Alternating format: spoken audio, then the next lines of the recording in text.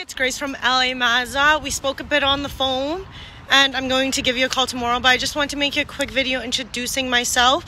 And we're just outside. We do have a CX5 right behind me, actually. We do have a few other options. I'd love to get you in here for a test drive. We'll figure out a time and date that works best for you tomorrow. And I look forward to talking to you.